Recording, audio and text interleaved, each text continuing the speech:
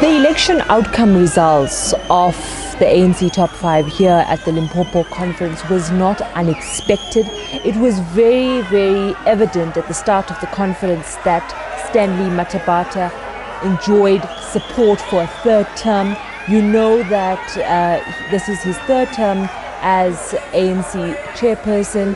Mathabatha's slate enjoyed support from a number of regions. That support was very prominent in the run up to the conference. And you saw it at the start of the conference, which obviously came after some delays, where every time a leader would shout Amandla, the supporters and delegates were shout Chupo in support of Stanley Mathabatha. There was also signs of three fingers which showed a third term or signified a third term for Stanley Mathabatha. It was a clean sweep. He had won by more than a 300 vote margin between him and his rival Dickson Masemola, um, and that was consistent in all other positions that were contested here at this conference. Now, what does this mean? Effectively, what the ANC Limpopo delegates had done on Friday was elected a chairperson for a period of six months because all indications point to the fact that they want him to take up a national leadership position of the ANC at the December conference, where the ANC national leadership will be elected. And so they were basically electing him for a six month period uh, on a ticket to push him to uh, the national leadership.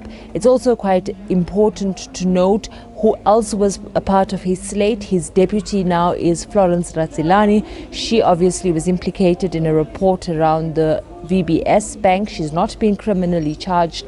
Another person who um, played a significant role in this conference, but was not physically here, was Danny Msiza. He was the treasurer of the ANC, but has been criminally charged. He was nominated for the position of secretary, but could not take up that position because of the criminal charges that he faces. But he does enjoy significant support in this province. You could feel his presence here, even though he was not physically present at the conference. When he they tried to nominate him uh, from the floor uh, uh, during nominations in the wee hours of Saturday morning, um, Paul Mashatile, the ANC Treasurer General, had to quickly intervene and say uh, he was not allowed to contest because the ANC rule stands that if you are criminally charged, you have to step aside from your position, and that disqualifies you from contesting any other positions within the party.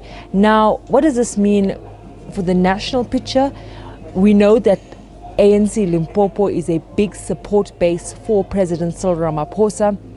He will enjoy the support in the conference in December.